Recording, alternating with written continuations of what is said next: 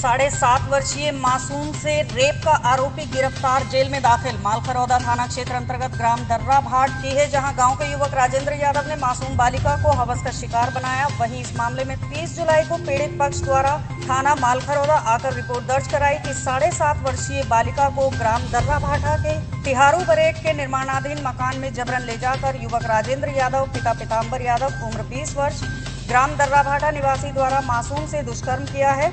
इस रिपोर्ट पर तत्काल पुलिस द्वारा आरोपी युवक के विरुद्ध बलात्कार की धारा तीन सौ छिहत्तर एवं चार छह पास्को एक्ट के तहत मामला कायम कर विवेचना में लिया गया और इस मामले को गंभीरता से लेते हुए उच्च अधिकारियों की मार्गदर्शन में आरोपी युवक की तलाश शुरू की गई। वहीं आज 31 जुलाई को पुलिस को ग्राम दर्रा भाटा में आरोपी को होने की सूचना मिली तो तत्काल पुलिस द्वारा आरोपी युवक राजेंद्र यादव पिता पिताम्बर यादव उम्र 20 वर्ष ग्राम दर्रा भाटा को घर से गिरफ़्तार कर न्यायालय में पेश किया गया जहाँ आरोपी को न्यायिक रिमांड पर जेल भेज दिया गया है। तो कुछ जानकारी दी ये मामला ग्राम दर्रा भाटा का है।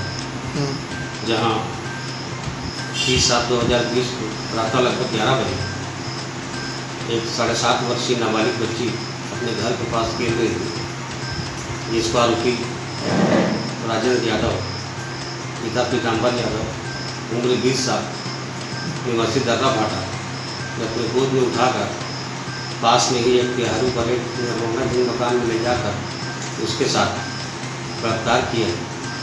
जो बच्चे की रोने की आवाज़ सुनकर आसपास और जो बच्चे खेल रहे थे, उन्होंने भी देख के जाके वहाँ पे हल्ला मचाया।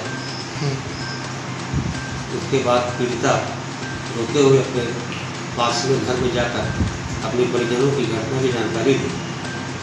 रिपोर्ट पर धारा तीन सौ छिहत्तर भादवी चार छः पाँच का अपराध पंजीबद्ध कर।